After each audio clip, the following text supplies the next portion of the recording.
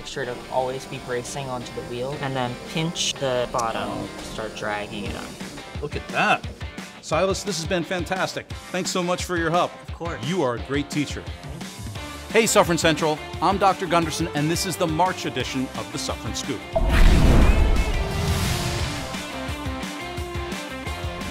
March is Youth Art Month, a national initiative that began in 1961 to recognize the importance of art education and to give students more opportunities to be creative.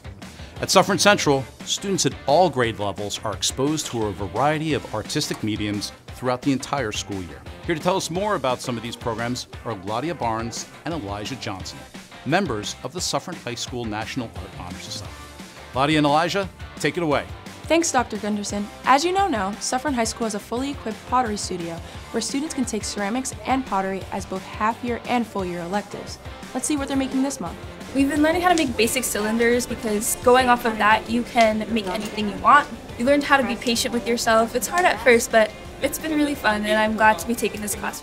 A lot of people aren't aware that Suffern High School also has its own darkroom, where students can learn to develop their own photos at both intro and the advanced level.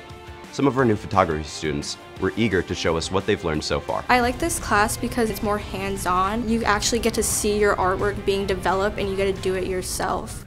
In the high school's fashion design elective, students recently made life-size paper dolls and are currently working on painting silk scarves.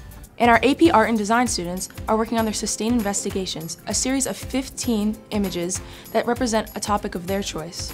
When we stopped in, they were critiquing each other's work in preparation for submitting their AP portfolios. Today, everybody has their art pieces out and we're asking for constructive criticism in order to improve on previous pieces or in order to move forward within our own ideas. I started art freshman year and now I'm in the AP class. I've really enjoyed it and it's helped me kind of like figure stuff out about myself. At the middle school, students often work on projects in their art classes that connect with the core curriculum.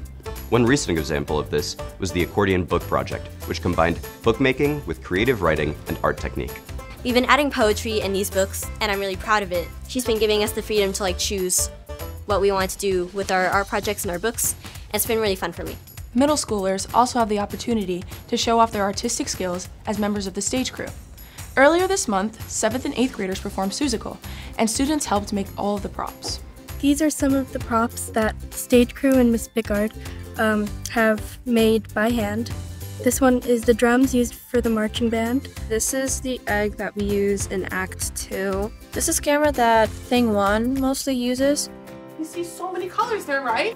Elementary students learned about famous artists and then incorporate their techniques into their own work. Recently, second graders discovered the paintings of Georgia O'Keeffe and then tried their hand at recreating her flower-themed art. I really like art because it's really creative. You can really make what your mind thinks of. And fifth graders studied Jean-Michel Basquiat and used his abstract, unstructured style to inspire their own creativity.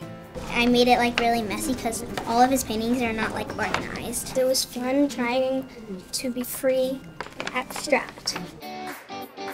And finally, to celebrate Youth Art Month and its theme, Dream and Art, Suffern Central held its district-wide art show, where the community gathered at Suffern High School to celebrate the work of students in grades K through 12.